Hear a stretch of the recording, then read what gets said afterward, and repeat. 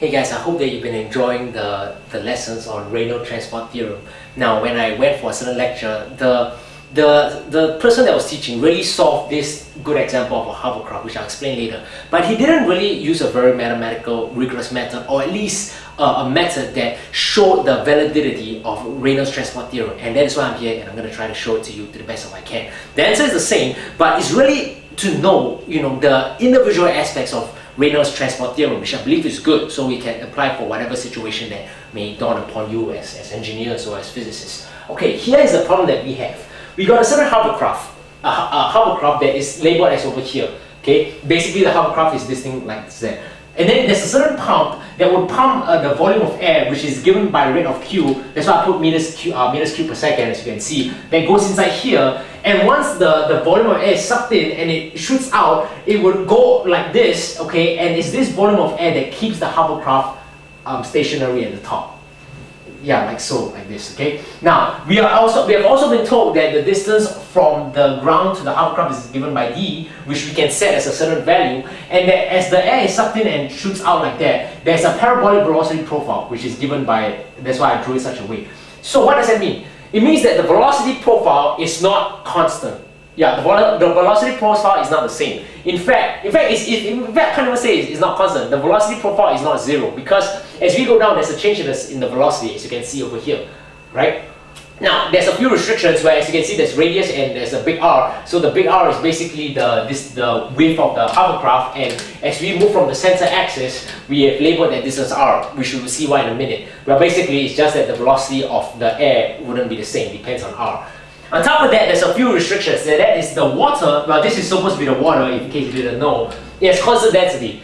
So, which obviously is a bit simplified because as we know, as the water shoots down, the density of the, the water will change. Or as the air shoots down, the density of the water will change. But for the sake of argument, let's label that as constant density and that the water is immobile. So basically, we are not really dealing with the element of shearing stress, which we should, okay, which I will try to tackle that in the next question. So um, our first part of the question is that we have the velocity function u, which is written in terms of r and y, which if you have to think about it, actually makes sense because of the parabolic profile, right? It depends on where we are. Okay, u, if I'm not wrong, is taken from the ground up. Okay, let me just check. Yeah, u, y, sorry, sorry, I'm saying u, y. Okay, so the velocity function is written in terms of r and y.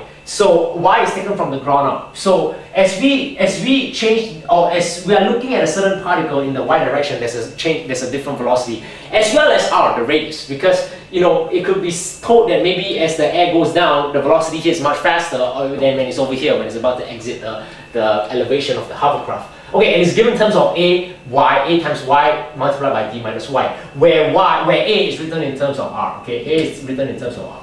So our first objective of the, the lesson of the problem is to find A, okay? Find A over here, which is to, in, so, in doing so we can find the velocity function. Now, what the main purpose of this lesson is really not to solve the whole problem because it's quite a difficult problem, but is to see the validity of Reynolds transport theorem, which I'll write it down now. Okay, the material derivative of the extensive property of the system, okay, is equals to the rate of change of the extensive property of the control volume, which we're given as the density, the intensive property, integrate that with the volume, sorry, yeah, with the with, in, with respect to the volume, and then we plus, okay, um, integrate the control surface of the density, and we're gonna put a velocity vector, the normal vector, and integrate that in terms of dA. Okay, this is the control surface like so where n is the normal vector to the plane of the control surface. So as we look at our analysis, basically is, is like that. Okay, n is like that,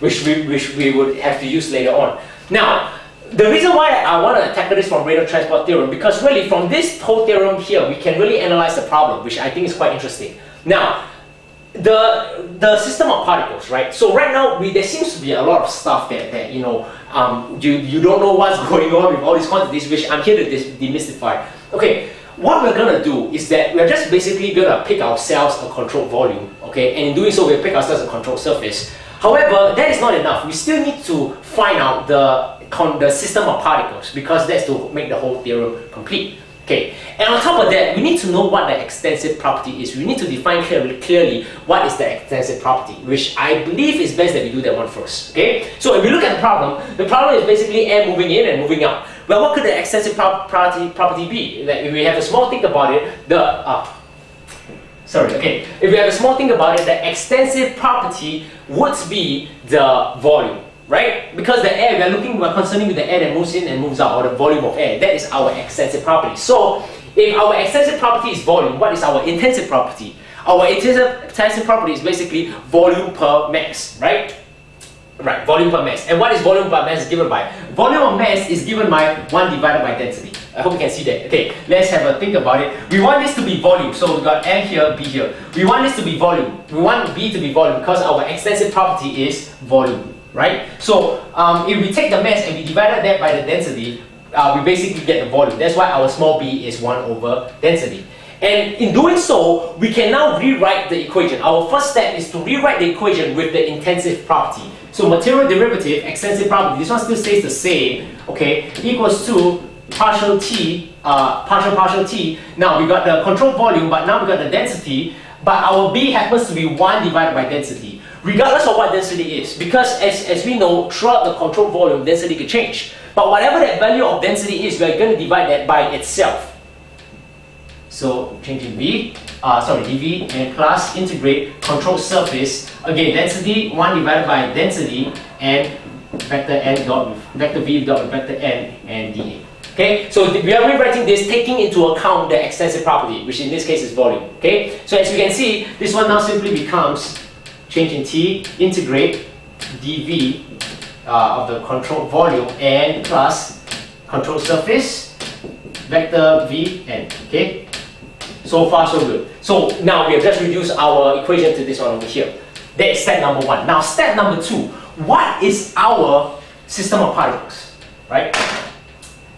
And remember, what is our system of particles and how does the extensive property change with that system of particles? Because ultimately, that's what we're analyzing, the change of the extensive property of the system of particles. So, what I will do is that I will first let's just say that our system of particles is about going to be the air over here, okay? So the air has not moved inside yet over here, but the system of particles, which I shouldn't draw, is, okay, is basically this one over here. So that is our system of particles. Just pick any system of particles.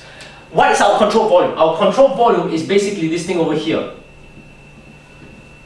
right? This is the, the things that's interesting, you know, things that are interesting can be over here. So that's our control volume. So our system of particles is over here and our control volume is over here, right? And basically what is happening is that the system of particles is going to move inside the control volume and move out. As easy as that. It's going to move inside the control volume and move out. Right? I mean, that, that is, that's what's going to happen. So, if that is what is going to happen, what is the, the material derivative of the extensive property of our system of particles? Okay? knowing that the extensive property we're looking at is volume, well, it wouldn't take for you long to know that that is going to be the rate of change of volume of the system of particles. And that will just simply become zero. Does that, okay, does that make sense? Look, our system particles over here, after a certain time, the system particles will be overspread over here because it's going to move inside the hovercraft, right?